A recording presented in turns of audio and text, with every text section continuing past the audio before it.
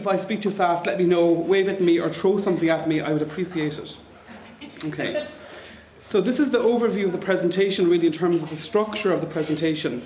And really, what I'm looking at is the sources of international human rights law that are relevant um, in relation to prohibiting um, torture or inhumane, degrading treatment or punishment. So, looking at the sources of law around that and looking at the architecture for the investigation and also the prevention of torture.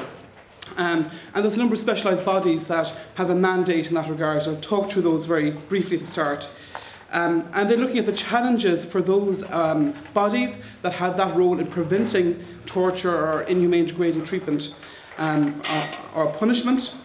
And then look at, I suppose, that, you know, looking beyond the challenges then and looking at the case study which I was asked to do, which is the European context, looking at the Council of Europe, looking at particular the European um, Court of Human Rights and how they've interpreted Article 3 in cases taken by persons with disabilities alleging violation of their rights um, under Article 3, which is the right to be free from torture or inhumane degrading treatment.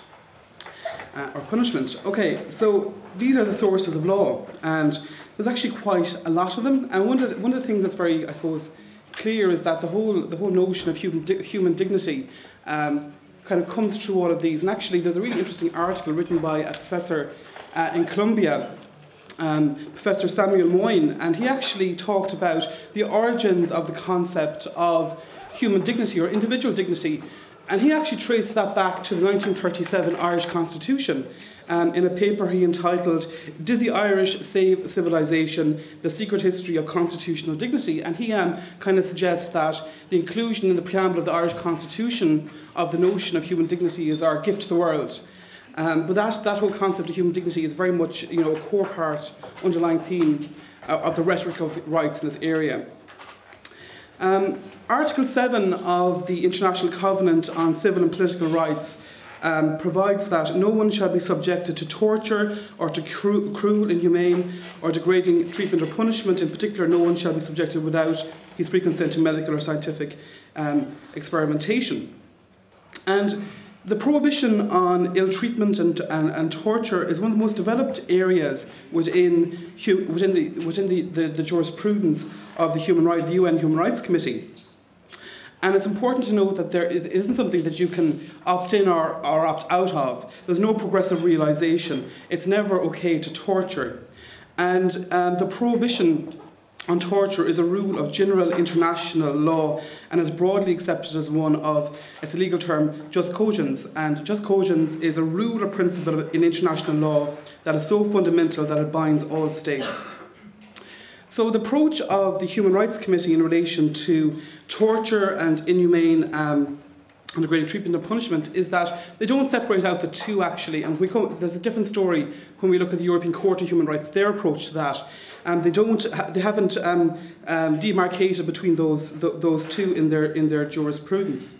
And if you look actually um, at article at actually Article Seven of the International Covenant on Civil and Political, Political Rights, what you'll see actually that it's very much linked um, to Article 10.1 as well. Um, I have a paper that I make available to you after the presentation where, where it discusses that. Um, what's important then actually in terms of the UN Disability Convention is Article 15. So there is actually explicit provision um, for freedom from torture or cruel, inhumane and degrading treatment within the UN Disability Convention, and that is provided for. And um, even though we have this pre, there's lots of different sources of international human rights law, the ones I referred to, and, and many others, which express, expressly you know, acknowledge the right to be free from um, torture or inhumane degrading treatment and, and punishment. Um, despite that, there was a failure within that mainstream human rights practice, as Janet Lord said, um, to ac account for violations of the torture prohibition against persons with disabilities. And if you're looking for a really good article that um, discusses the origins of um, Article 15 of the UN Disability Convention, Janet's article is the article to read. It's a really great article. Um, and if you look actually at the discourse around Article 15, what you'll see is that it's actually quite sparse in terms of adding anything new or fleshing out um, you know, the whole issue of freedom from, from torture or cr cruel, inhumane and degrading treatment as it applies to persons um, with disabilities. But I suppose what, what it does add is quite significant. And what it adds is actually that that whole paradigm shift in thinking in terms of the guiding principles in Article 3 of the Convention, that they're very much brought to bear in this area. So, um, particularly in institutional settings, that you have to have regard to those principles about, you know, uh, independence, the recognition of legal capacity. Those things are really, really important. And that, I suppose, is really what the what the CRPD adds to this area, even though um, reading the actual text here, you wouldn't think it adds very much really in terms of um, what it says actually in the text of it. Um, if you read through actually the drafting history as well of Article 15, you'll see that um, it was actually quite it was quite contentious in terms of at the drafting stage in terms of you know the whole issue of um, forced treatment uh, of people with mental health problems, um, and that's really interesting. You read more about that in Janet's article. Um, what I should say as well is that Article 15 is very much related to other articles. So, Article 12, which we've heard an awful lot about this week, also Article 14, liberty rights, and particularly in the context of people who are detained because they're considered to pose a risk to themselves or, the, or others on the basis of a mental health problem. And the Office of the High Commissioner for Human Rights in 2009 made a number of really challenging statements in relation to what Article 12 means. And one of the things, one of the things that they said was that Article 12 requires the abolition of the insanity defence and other similar defences in domestic law. So that's actually quite a challenging statement that state parties wouldn't necessarily thought signing up to the convention that they would have had to get rid of something like the insanity defence. So it's quite controversial. Um, similarly, um, the interpretation of the Office of the High Commissioner of Human Rights and subsequently the CRPD Committee that Article 14 of the CRPD requires abolition of mental health laws as we know them is quite controversial. So, you know, that, that's a, a point to bear in mind as well, in that while Article 15 um, is very much connected to these things, um, you know, there, there are difficulties in actually expanding out the right. Um, in terms then of a mandate in respect of um, torture, inhumane and degrading treatment, there's actually There's actually um, quite a lot. There's actually quite a lot in terms of different actors that are relevant here. Um, the Committee on the Rights of Persons with Disabilities ha clearly have a mandate um, in relation in relation to this area. Um, particularly now that um, the committee has been set up and um, countries have ratified not only the convention but also the optional protocol and that there is scope for people who are persons with disabilities in institutions or elsewhere who are, have um, their right to be free from torture or inhumane degrading treatment or punishment um, has been violated they can take an individual complaint um, to the CRPD committee. So that's, that's important to bear in mind. Um, what also is important to bear in mind is um, is that you have the, the Convention Against um, Torture and you have the committee, um, the UN Committee on the Convention of Torture, which have an important role to play here as well. They're a body of independent experts that look at how state parties implement um, the, the, the CAT Convention, the Convention Against Torture. And um, they have a number of ways of working. They do it through the normal way, like the CRPD committee. Um, they have um, a series. Uh, they have a reporting system where um, state parties report, and then um, the, the, the, the committee responds to that in term, periodically uh, through concluding observations. That's quite an important forum if there are um, violations of the rights of persons with disabilities in terms uh, coming, coming within the scope of that convention. So that's important to bear in mind as well. Um, there is also the optional protocol to the CAT Convention, and that's very important as well. Um, and that created the um, subcommittee on the prevention of torture. Um, and that convention, um, that optional protocol came into force since 2006. And this is a really important thing in terms of engaging with it because the subcommittee on the prevention of torture has a mandate to visit places um, where persons are detained, including persons with disabilities, at the national level, and they can um, they, they have a role in relation to um, you know preventing torture, um, and that applies to the institutional settings where persons with disabilities are often um, detained. Um, There also is a, a requirement um, under, under the optional protocol um, uh, at the national level to, to, to create independent national preventative mechanisms. So, for example, in Ireland, um, our national pre preventative mechanisms will be in relation to um, approved centres under our mental health legislation. So um, the Mental Health Commission has an inspectorate. The mental health um, inspector and his team go and uh, go and inspect on a periodic and ongoing basis places of detention in accordance with the Mental Health Act 2001. But we actually, sorry, I'm going too fast. Okay. Um, Some of us have uh, English as a second language. Yes. Yeah. Okay. Thank you. I appreciate it. Um, the other, the other, the other, the we, we, in Ireland we have deficits um, as well. So we, we don't have any inspection. We have no mandatory inspection of residential services for persons with intellectual disabilities, for example. And the Health Information and Quality Authority, which was set up to investigate, um, you know, nursing homes, much in the same way as the Care and Quality Commission in the in England and Wales. Um, they, they don't have a mandate in relation to residential services for persons with intellectual disabilities because the government haven't provided the money um, to ensure that the standards that have been come up, uh, come up, come up with by HIQA have been implemented. So we clearly will be falling foul in terms of that. But apparently the money is going to be made available in Ireland so that that national um, preventative mechanism um, will kick in. Then you also have um, the UN Special Rapporteur on Torture. Um, and this is actually a really, um, a really valuable um, mechanism within the international architecture in preventing um, torture or inhumane degrading treatment and abuse. And the special rapporteur actually isn't as constricted as the committee under CAT because um, um, the, the special rapporteur can act um, can, can act in circumstances where there is an allegation of torture or inhumane degrading treatment uh, or punishment, um, even where a country hasn't ratified the CAT Convention. So um, they can, it, number of ways of, of operating. And actually, it, it's been really interesting to see the last two special rapporteurs in terms of taking, um, you know, mainstreaming, I suppose, um, uh, within their work, looking at the rights of persons with disabilities. And um, the link between reasonable accommodation and ill treatment was recognised in 2008 by the previous special rapporteur, who was at that time Manfred Nowak, um, who actually observed that the lack of reasonable accommodation in detention facilities may increase the risk of exposure to neglect, violence and abuse, torture and ill treatment. And then, with much excitement then, the, the, the latest rapporteur in a report from February, Professor Juan Mendez, um, produced a very significant report that's really been heralded um, um, or warmly welcomed by a lot of um, DPOs and um, non-governmental organisations um, uh, in terms of his statements in relation to the CRPD uh, and mainstreaming that discourse within his own work. And what he said was that laws cannot provide doctors with the power to forcibly administer treatment Importantly, he, he also said that restraint and seclusion should be immediately prohibited, and that includes the use of seclusion and restraint in, psychiatric hospitals.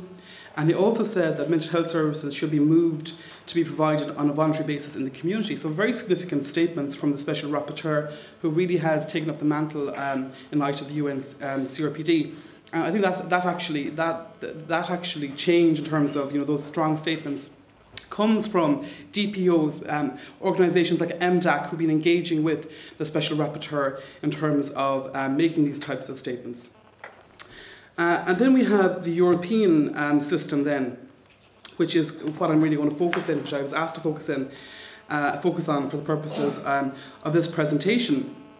And you have um, the Council of Europe. Are you all familiar with the Council of Europe? You've all heard of the Council of Europe? Yes, there's 47 member states, and the, um, the European Court of Human Rights is, is based within, within the Council of Europe. Um, and that's very important. So you have the, the European Convention on Human Rights, um, for, uh, which came out of World War uh, uh, following World War II, those human rights abuses, and really important in terms of protecting civil and political rights more so than economic, social, and cultural rights. It's very much based on civil and political rights. And then you also have um, this, this, this really important convention on the prohibition of torture. And that's really important. Um, and that came out in the 80s, that convention, and it commenced in the, the late 1980s. And that provides for a series, for this committee, the European Committee on the Prevention of Torture, and they travel um, they travel throughout Europe inspecting any place of detention. So places like prisons, police cells, but also psychiatric institutions and social care homes. So it's a really useful mechanism for investigating allegations of, um, you know, uh, um, exploitation and abuse or um, torture, torture in particular, this mandates in torture. And really the purpose of the European Commission on the Prevention of Torture is to complement the work of the European Court of Human Rights in relation to Article 3. So that's really important. So as of last Monday, the, the, the European Committee on the Prevention of Torture made 342 um, state visits. Um, 205 were periodic visits, so where they were scheduled visits, and the rest then, the 137 other ones, were ad hoc visits, so they weren't really announced. Um, and the way it works is actually it's a good way of ensuring if there are any problems or issues that states um, live up to their obligations under international human rights law. And the way it works is that um, if the state consents, and they generally, more often than not, agree the report that's, that's issued by the Committee on the Prevention of Torture is published, and the response of the government to the report is published. So it's actually a very valuable mechanism um, for looking at uh, looking behind the walls of institutions, including psychiatric hospitals and social care um, social care centres um, throughout Europe. Um, okay. Okay, so um, MDAC um, in 2012 they had a seminar um, with the Committee on the Prevention of Torture. And really, the purpose of that was that in 2012, um, what, uh, 2011 2012, what the Committee on the Prevention of Torture were doing was they were updating their standards. And the interesting thing is that the Committee on the Prevention of Torture, they don't actually publish their, very detailed standards, but they don't, they don't actually publish them, publish them, which is quite extraordinary when you think about it. They publish a kind of a, an abridged, shorter version on their, on their website, and they were updating their standards. And MDAC saw this as an opportunity to try and influence, um, you know, the, the, the, way in which the committee, um, the committee did its work. And they were trying to embed within their new revised standards um, a lot of those principles that are contained in the UN Convention on the Rights of Persons uh, with Disabilities. So MDAC had a seminar and they asked a number of people to come and present papers.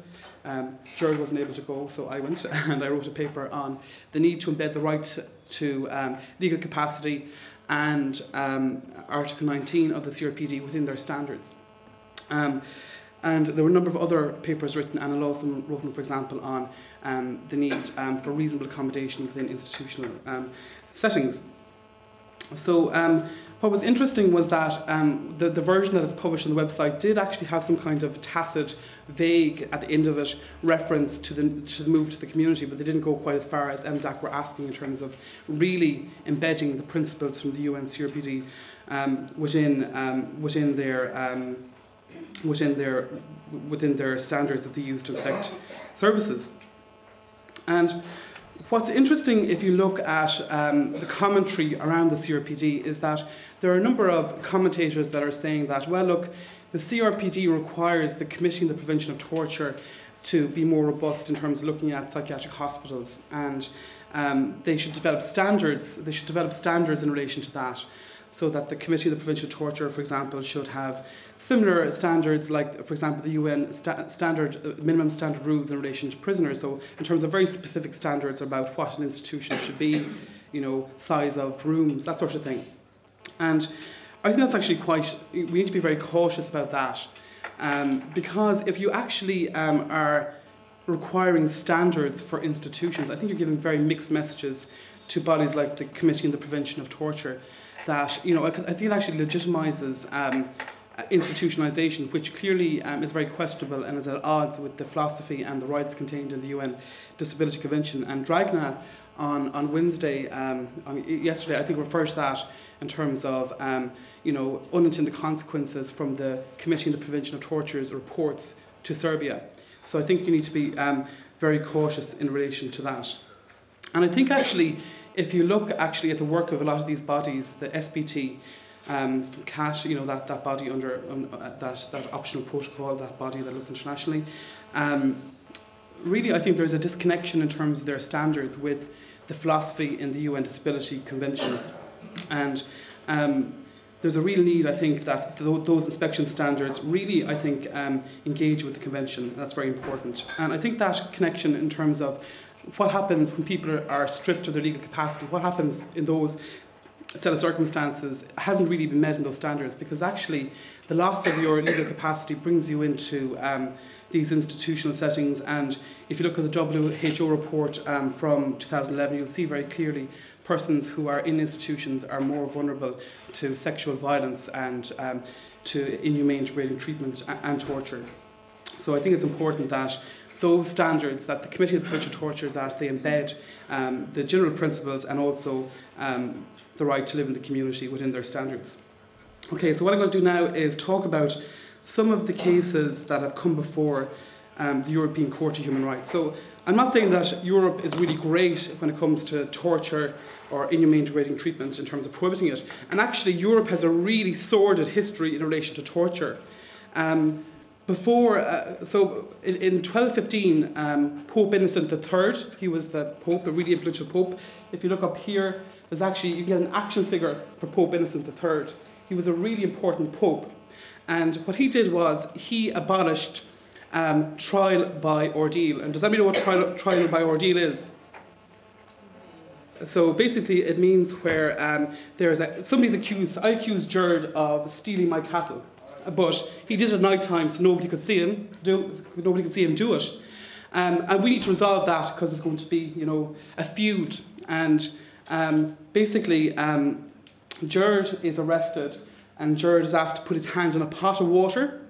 This is what happened in Europe up to the 12th century, and God would intercede on Jared's behalf. Um, he wouldn't scald his hand um, if he hadn't stolen my cattle, okay? Yeah, so this happened, this happened up until the 12th century, and then Pope Innocent III um, decided that this was unlawful because God was supposed to intercede on George's behalf to prove his innocence.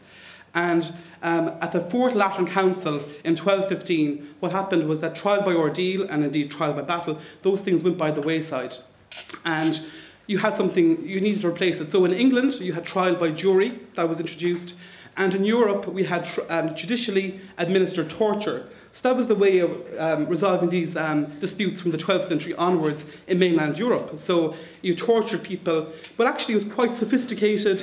There was um, there were safeguards in relation to it. You know, you corroborated the evidence you made sure that what people confessed to, um, you know, corresponded with the facts. So we've actually quite a sordid history in Europe in relation to torture. It's very much part of our legal system, and it very much developed the rules of evidence, which are still in place.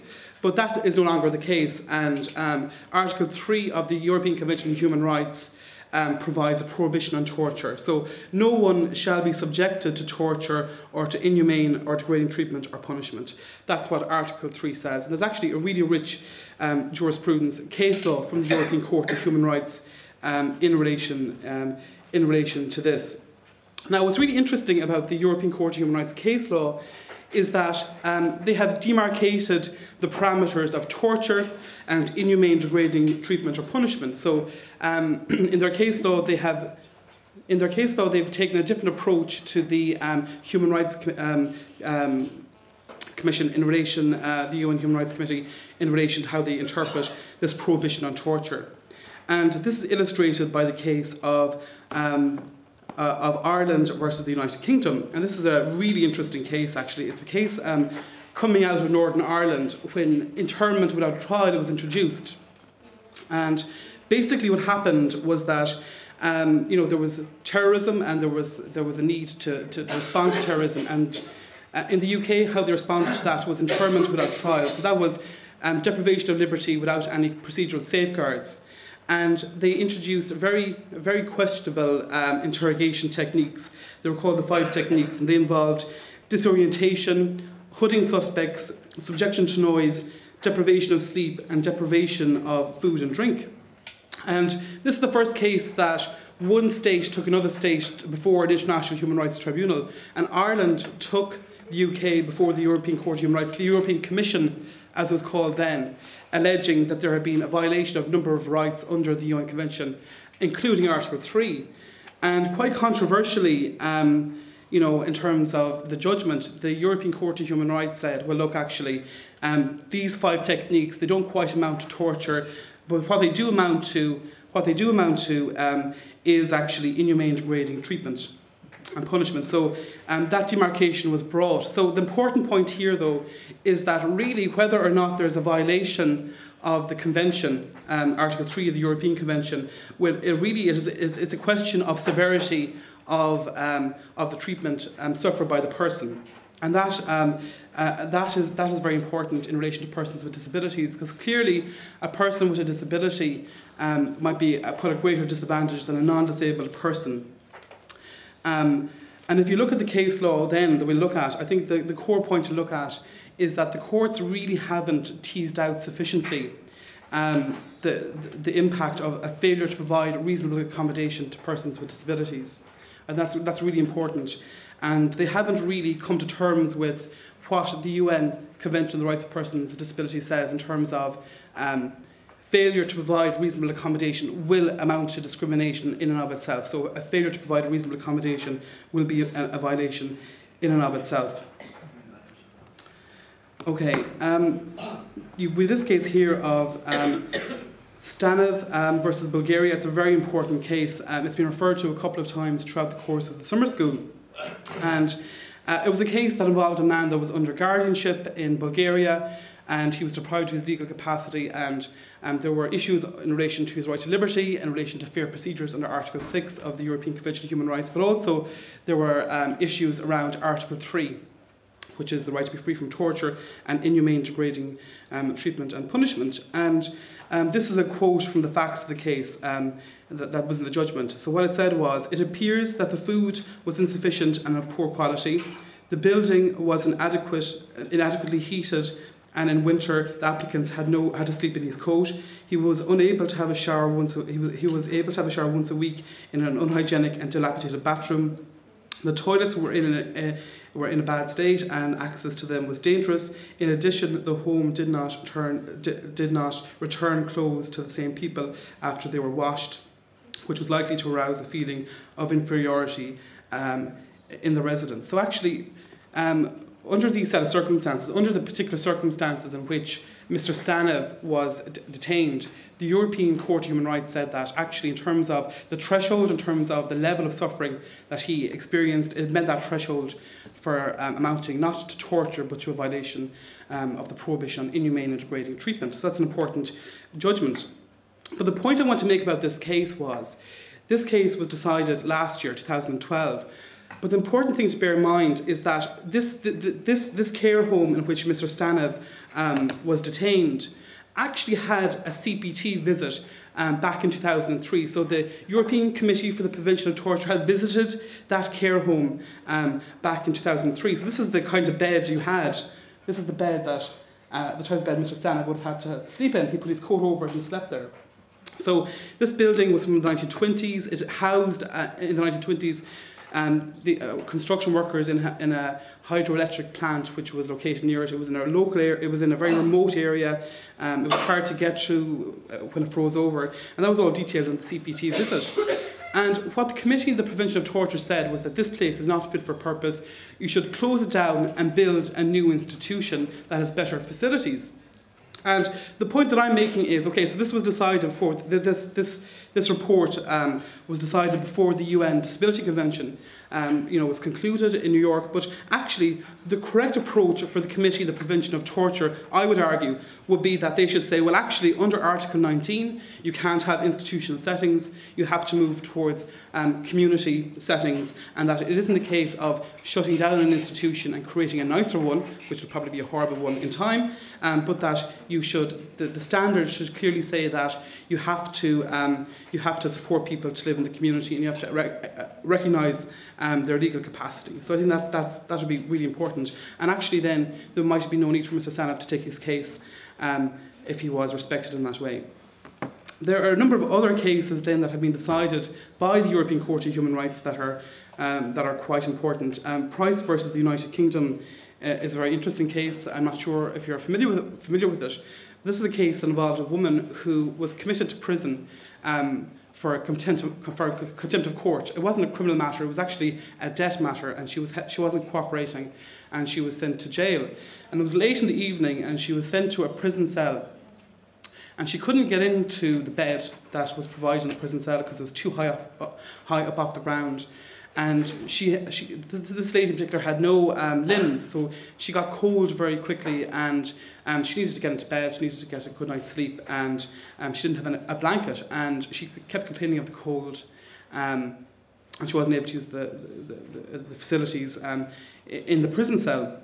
So a doctor eventually came and gave her a blanket, and then she, the following day she was transferred to a prison. And okay, the, the, the environment was better in terms of there were, there were wider doors, but she wasn't able to use the bathroom. Um, she, this was contested by the state, but she had to get assistance by male prison officers to help her to use the toilet, which she found very degrading. Um, and she suffered, uh, you know, the bed again wasn't, she wasn't able to get into the bed because it was too high, even though the cell was supposedly accessible. So she took the case um, to the European Court of Human Rights, alleging violation of her rights under Article 3, the right to be free from inhumane degrading treatment and punishment. And the court said, well, actually, yes, um, you ought to recover. Um, yes, your, your rights have been violated. And they said, well, we don't believe that there was any deliberate, there was any deliberate attempt um, to actually um, inflict this, the, this humiliation upon you. Um, but they, they, they did say that the way in which things worked out, the way in which the environment wasn't accessible, amounted to a violation of your rights. Um, there are a number of other cases that are really important here as well. Um, versus Latvia is an important case, and that considered, um, I suppose, the failure of making um, adjustments um, to a detainee with a sensory uh, with a sensory disability. And this guy, he was deaf, and his father took the case because he actually died. And what had happened was that he was unable to speak, um, and he was deaf and he sustained a head injury and he was a, he, there was an altercation and he was arrested by the police. And the police were aware that he had got a head injury. Uh, but they sent away the ambulance and they took him into custody. And the only way he could communicate was with a pen and paper. Um, and and they took the pen and paper they confiscated it and he wasn't able to communicate with the guard with the police officers and he died um, a number uh, a number of days later. And uh, under, considering those circumstances, the, the, the, court felt that there had been a violation of Article 2, the right to life. And what the European Court of Human Rights said was that the authorities decided to place and maintain in detention a person with disabilities. They should demonstrate special care in guaranteeing such conditions um, as correspond to the special needs resulting from that disability. So it isn't actually acknowledging a right, they're not articulating it in terms of a right to reasonable accommodation, but that it effectively is in terms of Article 14 of the European Convention on Human Rights in conjunction with other articles. You know, it is discrimination. Um, there is another case here then again, Keenan versus the United Kingdom. And this is a very tragic case, but one, of, one, one aspect of the case was rights under Article 3. Um, and you had a guy um, who had a mental health problem who, um, who, was, who, who, in terms of being punished for failure to, to comply with um, prison staff, was placed in solitary confinement. And under those set of circumstances, the European Court of Human Rights ruled that this amounted to a violation of Article 3 of the ECHR. Um, there's another case here that I'd like to mention, which is Mouisel versus France. Um, um, you know, it's a case from about 10 years ago, but this actually um, is, is a case um, that involved a prisoner who was diagnosed with leukemia, and he had to go to um, he had to go to, he had to go from the prison he had to go from the prison um, to a treatment facility for for chemotherapy on a regular basis. So he kept going, but the protocol dictated that he was chained. Um, and, and uh, at all stages in terms of in line with protocol, and um, the question facing the court whether, whether this actually treatment amounted to a violation of Article 3. And what the European Court of Human Rights said, yes, actually it does. It does um, amount to a violation um, of, of Article 3. Um, similar issues arose in this case um, of um, versus Latvia, and this case involved a man who was 84 years of age, and he was convicted of um, a serious criminal offence um, and he was sentenced and he began his prison sentence. But he was described in the evidence, if you read the court, the court, the judgment of the court, he was described as being virtually um, paralysed, and um, he had a number of other health issues. So um, he, during the daytime, when there was um, health officials, he was being dealt with within the health services within the prison, and what had happened was that um, uh, was that he was very reliant on the health, people working in health services to, you know, for he, to meet his care and his health needs. But once those people weren't working, um, he, he depended on the kindness of fellow inmates to provide care to him. And um, the question before the court was whether this amounted to a violation of Article 3. And the European Court of Human Rights said, yes, well, actually, this does amount to a violation of the man's rights under Article 3. So, what do these cases tell us then? Um, I suppose is the question um, we, we're, we're, trying to answer. And I think what it, what it tells me from reading them is that um, the impact, there, that there is an impact, there's a quite clear impact when you fail to reasonably accommodate a person um, in the institutional setting, and that um, you know, the built environment and policies and procedures can have a disproportionate impact on persons with disabilities. And that it's really essential that there's flexibility in adapting um, practices and policies and procedures to the particular circumstances of the persons involved. And in line with Article 8 of the CRPD, there's a real need for awareness raising and training of prison staff, and that information um, has to be provided in an accessible format. Um, regarding um, regarding um, sorry, uh, regarding um, complaints. So if there's complaints mechanisms, information has to be provided in an accessible way. And what those cases also tell us that there are certain circumstances where people are being detained, particularly in prison settings, where um, the nature of their disability, the impact of imprisonment and deprivation of liberty will mean that they will need to be released from prison, and that really will have to be decided. Um, will have to be decided. Um, what I would say also is that reading those cases is very clear and very often we try to be very optimistic when we read cases that are coming out of the European the European Court of Human Rights over the last number of years where they have referred to the European to the UN Convention on the Rights of Persons with Disabilities. In particular, the Glor case, um, you know, was very positive in terms of um, what the European Court of Human Rights said in terms of our evolving understanding of disability. But that, I, I think, hasn't really translated in, in the cases. And I think Camilla was talking about it yesterday in relation to the Stanev case, in relation to Article 8, the right to private and family life under the European Convention of Human Rights, and that hasn't happened. And it's very clear, I think, as well, that you know um, the paradigm shift in thinking around legal capacity hasn't happened. Um, and it's, it's very, it, it, I think what behoves us in terms of any litigation that is coming out, uh, that's coming before the courts, that you continue to make those arguments around the UN Disability Convention and um, to develop those rights like Article 3 in line with the general principles outlined in the CRPD. So I'll conclude then, and we'll have time for questions and answers.